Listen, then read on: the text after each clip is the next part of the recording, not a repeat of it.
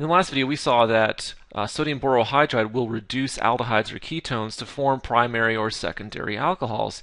And if we look at this general reaction, right, this is either an aldehyde or a ketone over here. If we add lithium aluminum hydride in the first step and, and then a source of protons in the second step, which is water, we will form either a primary or a secondary alcohol depending on our starting material. So in that respect, lithium aluminum hydride will, will react in, this, in the same way as sodium borohydride. However, sodium borohydride will only reduce aldehydes or ketones. It won't reduce carboxylic acids or esters. And that's what lithium aluminum hydride does. So we can see that if this is an OH right here, right, that would be a carboxylic acid functional group. And if we take off the H and put an alkyl group in R prime group there, we would have an ester. So lithium aluminum hydride not only reduces aldehydes and ketones, it also reduces carboxylic acids and esters since it's more reactive, which is also why we have to separate these two. We can't have water in the same in the same reaction vessel as our lithium aluminum hydride because it will react with that faster. And so once again, our product will uh, will depend on what our starting material is. So the mechanism for the reduction of aldehydes or ketones with lithium aluminum hydride is just like the one for sodium borohydride. So we'll move on to a mechanism for the reduction of an ester. So let's go ahead and do that. So let's let's start with an ester down here. So we have our carbonyl like that. So we'll put in our lone pairs and down here we have our R prime group like that. So there's our ester. And we add lithium aluminum hydride in excess. So in terms of molar equivalence, uh, let's go ahead and put lithium aluminum hydride down here, Li+, plus, and then we have Al bonded to four hydrogens like that, and that's going to give the aluminum a negative one formal charge like that.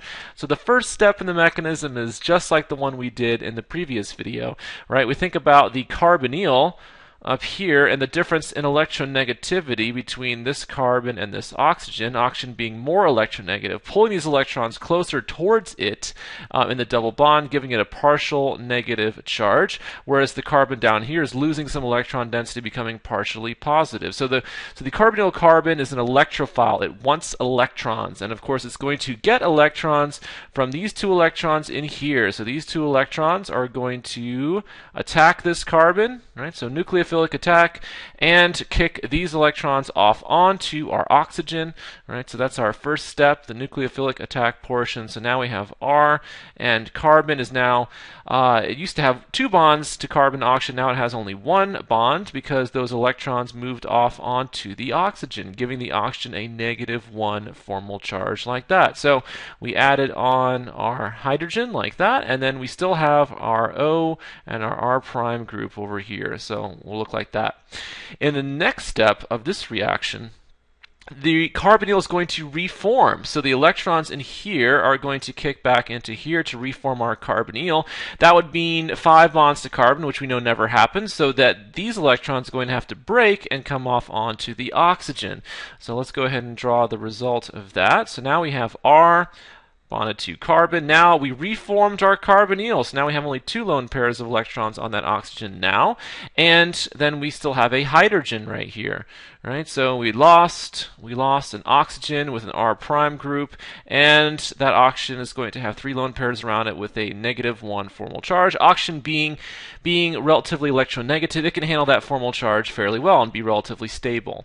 So now we have an aldehyde, and we know that. Uh, that this reaction can occur again with an aldehyde. So since you have extra lithium aluminum hydride floating around, what's going to happen is another reaction, right? So another reaction just like the one we just did, right? So we're going to have our lithium aluminum hydride again right? So it's so it's so reactive you can't stop this reaction from occurring a second time.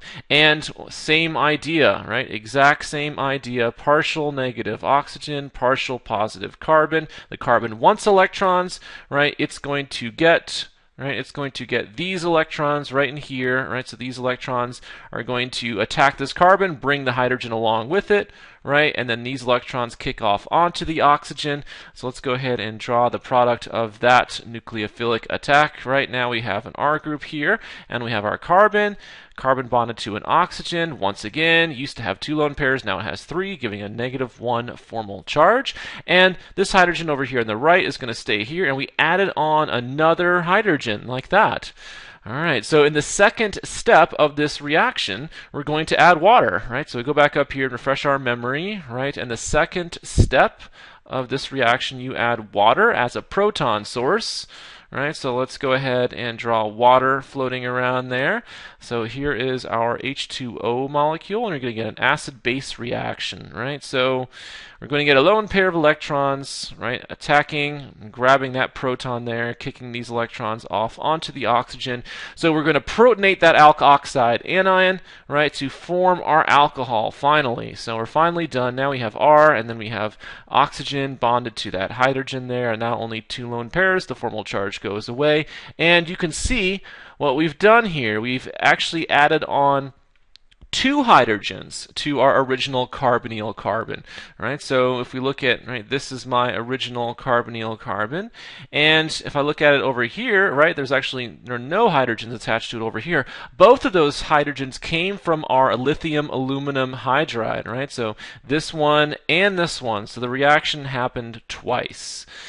All right, so if you're doing this reaction with a carboxylic acid, it's it's a similar mechanism. We don't have time to go through it, um, but you're going to uh, you're, you're, you're going to end up with the same product. You're going to add on two hydrogens onto that original carbonyl carbon like that. So this uh, let's look at the chemoselectivity of this reaction. Okay, so now that we've covered sodium borohydride and lithium aluminum hydride, let's see how how you can choose which one of those reagents is the best to use. So if I start out here with uh, let's start with our reactant. Right, so let's let's make it a benzene ring like that, and let's put stuff on the benzene ring. Okay, so let's go ahead and put a double bond here, and then we'll make this an aldehyde functional group on one end, and then over here on this end, right, I'm going to put an ester like that, and let's uh, let's let's look at um, how we can selectively transform different parts of this molecule using different reagents, right? So let's say let's say we were to add on, let's say we were to do a reaction where and where we added on sodium borohydride, right? And and then we'll add on a proton source in the second step. So we need to think about what's going to happen. Sodium borohydride is, is selective for aldehydes and ketones only. It will not reduce uh, carboxylic acids or esters. So it's only going to react with the aldehyde at the top right portion of this molecule. So let's see if we can let's see if we can draw this in here. So it's going to react with the aldehyde in the top right portion. All right, so we are still going to have our double bond here, and the aldehyde is going to go away to form a primary alcohol. All right, so we're going to get a primary alcohol where the aldehyde used to be. Sodium borohydride has reduced that carbonyl, and the second step, the protonation of the alkoxide forms your primary alcohol as your product, and the rest of the molecule is going to stay the same right? So this ester is going to remain untouched down here. So it's chemo, the chemoselectivity of that reaction. All right, let's say we do this, uh, we start with the same starting material. And the first step, this time we add lithium aluminum hydride like that. And the second step, we add some water. Well, lithium aluminum hydride will reduce aldehydes and ketones, and it will also reduce uh, esters. So lithium aluminum hydride in excess, right? So let's just assume this is at an excess here. It's going to react with this aldehyde portion of the molecule. It's also going to react with this ester portion of the molecule. So it's going to reduce both of those and form alcohol. So let's go ahead and try to draw the product here. All right, so we have our benzene ring, which is untouched. And up here, right, we know that lithium aluminum hydride is going to form a primary alcohol as well, like that. And then down here, right, what used to be our ester functional group, we're going to add two molar equivalents of hydrogen to that carbonyl, and we're going to we're, we're going to end up uh, uh, breaking that bond between the carbonyl carbon and that oxygen, right? So all of this over here is going to go away as a leaving group in our mechanism, right? We're going to add on two hydrogens to that carbon, right? And and then that's going to form our alcohol. So we're going to add two hydrogens onto that carbon, forming a primary alcohol down here as well, just like in the mechanism that we just discussed. So reduction of esters using lithium aluminum hydride. What about if we were to add uh, hydrogen gas and palladium as our metal catalyst here.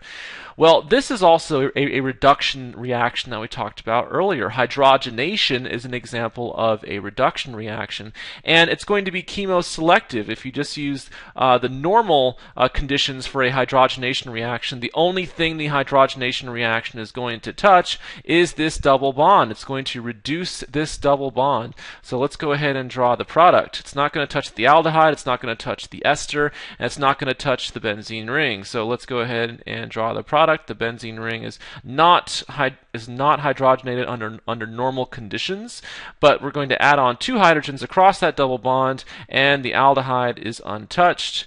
And down here, the ester is going to be untouched as well. So that would be our product from a hydrogenation. So three different three different reductions, three different products. Now, hydrogen will reduce carbonyls under the right conditions. Usually, if you have you know increased pressure and increased temperatures and like that, you actually can reduce those carbonyls. Um, but if you but again, you can control those conditions, so you can control what part of the molecule is reduced. So that that sums up uh, the, uh, the, the ways to reduce uh, carbonyl compounds using sodium borohydride and lithium aluminum hydride. In the next video or two, we'll take a look at organometallics and particularly the Grignard reagent.